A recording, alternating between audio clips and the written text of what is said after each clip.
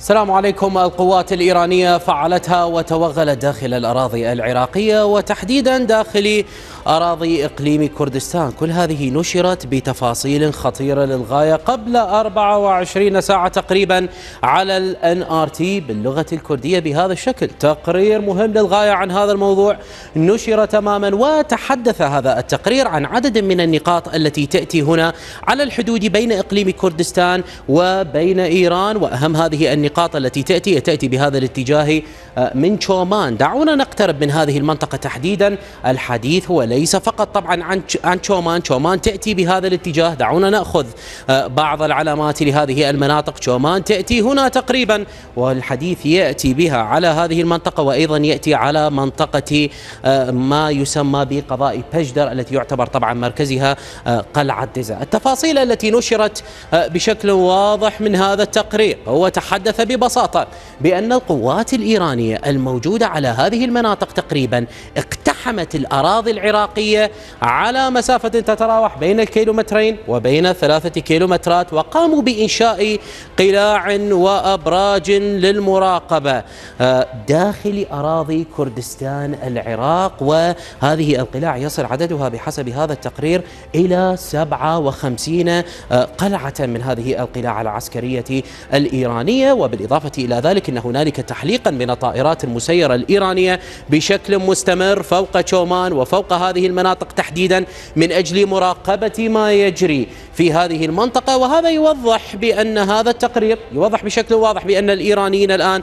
تمكنوا أو شكلوا منطقة آمنة كما تفعل طبعا وكما فعلت تركيا مع شمال العراق أيضا على إقليم كردستان وأيضا مع شمال سوريا. ولكي نفهم هذه التفاصيل بشكل أكبر لنذهب إلى القمر الصناعي لنفهم ما الذي جرى بالضبط. إذا ما أخذنا بهذه المعلومات بشومان هذه هي شومان وهذه هي المنطقة الجبلية وواضح جدا الخط الصفري أو الخط الحدودي مع إيران. دعونا نقترب من هذه المنطقة الجبلية آه، قليلا لكي نرى هذه المنطقة. هي منطقة وعرة ولكنها مهمة على المستوى الاستراتيجي. إذا ما حاولنا على سبيل المثال أن نأخذ هذه الجبال نحاول مثلا أن نقترب إلى هذه النقطة حتى هذه النقطة تقريبا نصل إلى كيلومترين. بعض النقاط تصل إلى ثلاث كيلومترات بعض النقاط تصل إلى كيلومتر ونصف حسب الوضع طبعا والنقطة الاستراتيجية التي اتخذتها إيران. وعلى هذا الأساس نأخذ مثالا ونذهب مباشرة إلى النقطة الصفرية في الحدود وكأننا نحن من حرس الحدود من حرس الحدود الإيراني. على سبيل المثال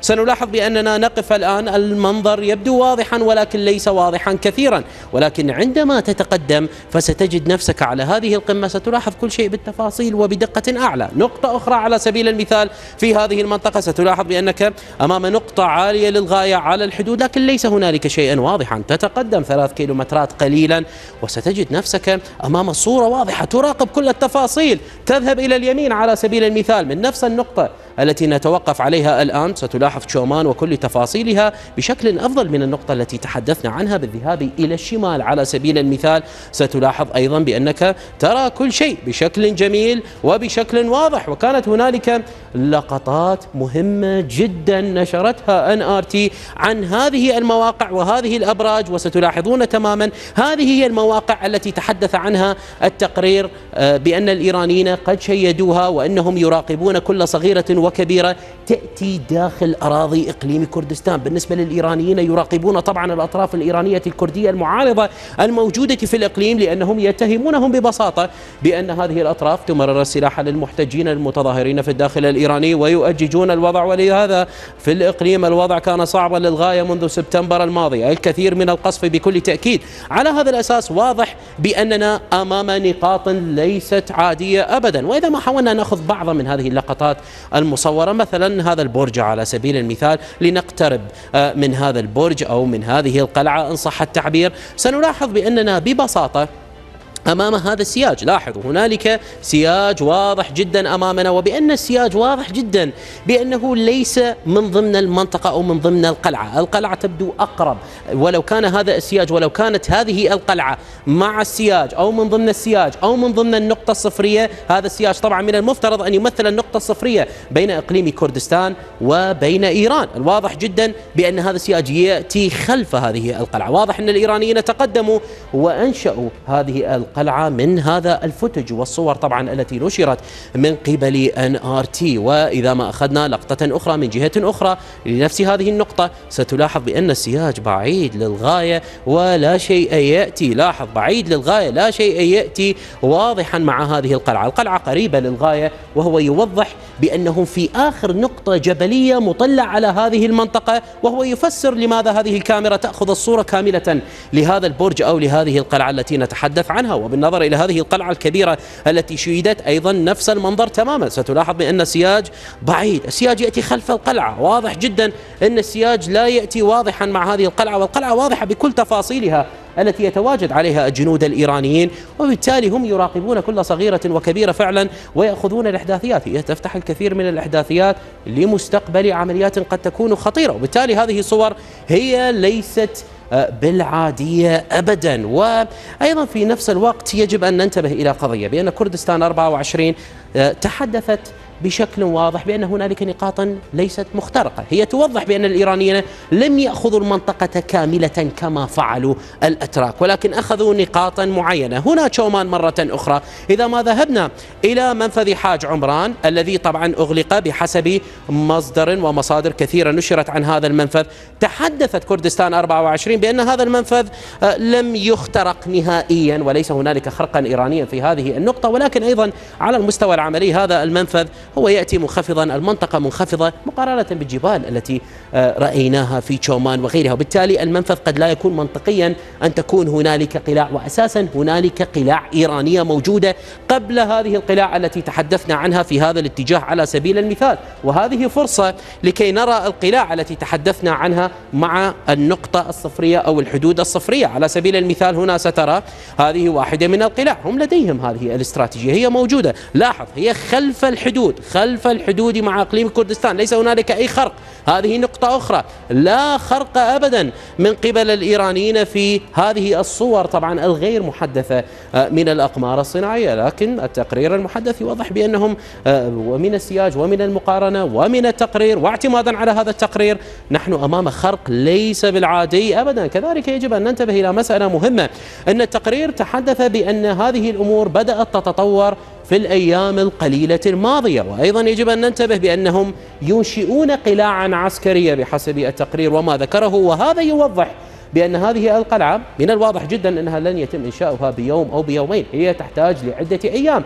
وهذا يعني بأن هذه التفاصيل وهذه التطورات كلها جاءت قبل زيارة رئيس الوزراء العراقي السيد محمد شيع السوداني إلى إيران. والاتفاق مع إيران على مسألة الأطراف الكردية الإيرانية المعارضة الموجودة في إقليم كردستان لمنع أي تقدم إيراني بري. والمشكلة أن ذا عرب ويكلي اللندنية تحدثت يوم أمس عن طبيعة الاتفاق وأكدت أن الاتفاق هو نشر حرس حدود من القوات الاتحادية وقوات البيشمركة وأيضا أن الحكومة إقليم كردستان يجب أن لا تدعم الأطراف الإيرانية الكردية المعارضة الموجودة في إقليم كردستان. إغلاق المقار هي التفاصيل التي سمعناها كثيرا في اليومين والثلاثة أيام الماضية حتى قبل زيارة رئيس الوزراء العراقي إلى إيران. وهنا المشكلة التي تطرح هل هذه التطورات التي نتحدث عنها الآن ودخول القوات الإيرانية بهذا الشكل إلى هذه الحدود هي من ضمن الاتفاق الذي جرى مع العراق؟ هل هي تعني بأنه تمت الموافقة على هذا التفصيل مع نشر القوات العراقية مع قوات كذلك آه، البيش مرقة في هذه النقاط؟ و كما هو الحال مثلا على سبيل المثال مع تركيا. وأيضا السؤال ما هو الاتفاق مع تركيا؟ بما أننا سمعنا كثيرا بأن سيكون هنالك أيضا نشرا إن القرار أيضا يشمل الأتراك. وبالتالي هذا يعني أيضا أن القوات العراقية أو حرس الحدود سيكونوا موجودين مع الأتراك. اذا هل إن الإيرانيين طلبوا أن تكون الأمور كما هو الحال مع الأتراك وأن تكون لديهم منطقة آمنة مع وجود قلاع وغيرها من هذه التفاصيل التي تحدثنا عنها؟ هو أمر بالفعل بعد هذا التقرير.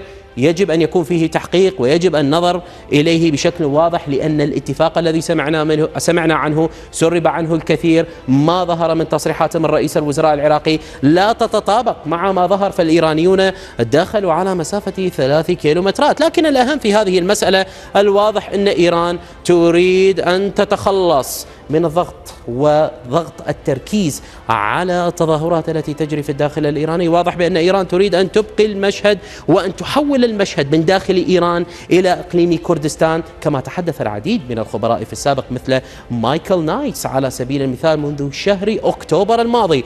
قد تحدث عن هذه المسألة. الولايات المتحدة الأمريكية لا تركز فقط على التظاهرات وإنما هي بدأت تضغط الآن على العصب النووي الإيراني روبرت مالي المبعوث الأمريكي الخاص لإيران. كان قد تحدث يوم أمس في لقاء مهم على ال Foreign Policy لقاء كان مسجلا. وكان قد تحدث ونقل عن رئيس الولايات المتحدة الأمريكية بأن الرئيس الأمريكي جو بايدن أبلغه بأنه سيختار الخيار العسكري ضد المنشآت النووية الإيرانية. كملاذ أخير. إن لم تأتي الضغوط أو العقوبات أو الدبلوماسية بنتيجة فالولايات المتحدة الأمريكية ستضرب المنشآت النووية وذلك بسبب أن المنش... إيران اتخذت قرارا برفع تخصيب اليورانيوم في منشأة فوردو بنسبة 60% وبالتالي هي تخصب اليورانيوم بنسبة 60% في فوردو وتخصب اليورانيوم بنسبة 60% في نطانز وهذه نسبة عالية للغاية. سيصلون إلى 90% وهذه درجة تخصيب عالية تصل إلى القنبلة النووية المثير الكثير أن هذا التصريح يأتي مباشرة بعد انتهاء المناورات الأمريكية الإسرائيلية الكبيرة والخطيرة التي تدربوا فيها على مسألة مهاجمة المنشآت النووية وقصف المنشآت النووية الإيرانية بهذه الطريقة بعد الاختتام الذي عرضوا فيه رسالة واضحة جدا لإيران جاءت هذه التصريحات من روبرت مالي وأيضا ظهرت هذه الطائرة التي ترونها الكيسي 135 ستراتو تانكر التي هي تعمل على عملية تزويد الوقود وهي تزود الوقود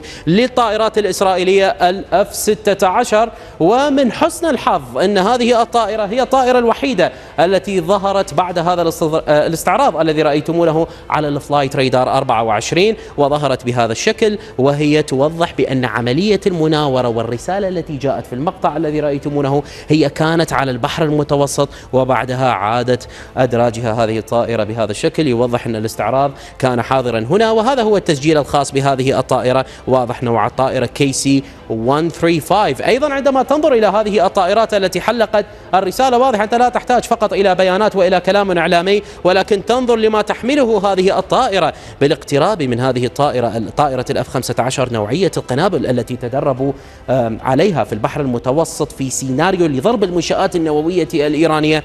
هي قنابل من قنابل مخترق القبو؟ من القنابل التي تضرب المنشآت النووية تحت الأرض وتدمرها وتدريبات تمت من دون حضور طائرة طائرات البي 52 أو طائرة البي 2 القادرة على حمل القنابل الثقيلة لضرب المنشآت النووية تحت الأرض. وهذا يوضح أن التفاصيل أنهم لعبوا على التفاصيل بالنسبة للولايات المتحدة الأمريكية في هذه التدريبات. التفاصيل المعلوماتية عندما تلاحظ هذه الصورة ستلاحظ أنت أمام طائرة اف 35 واحدة اثنان ثلاثة أربعة طائرات من طائرات الاف 35 آه، الإسرائيلية وهنا طائرات الأف 15 أيضا. أنت أمام أربع طائرات من طائرات الأف 15 والتفاصيل التي نشرت عن هذه التدريبات بأنهم تدربوا على مسألة جمع المعلومات تحديد الأهداف وبعد ذلك مشاركة المعلومات مع الشركاء. أي بما معنى أن الأف 35 القادرة طبعا على التحليق كيفما تريد وكما تريد. فوق الأجواء الإيرانية من دون أن تكتشف إيران. هذه الطائرات هي ستجمع المعلومات ستحدد الأهداف وتشاركها مع الولايات المتحدة الأمريكية عندما تتجه مباشرة لضرب المفاعلات النووية. وطبعا الطائرات الأف 15 يجب أن ننتبه هي ليست قليلة هي قادرة على حمل هذه القنبلة.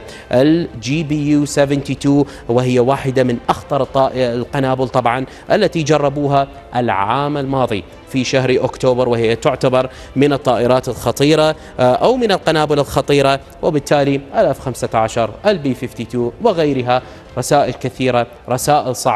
رسائل معقدة والوضع يبدو معقدا للغاية.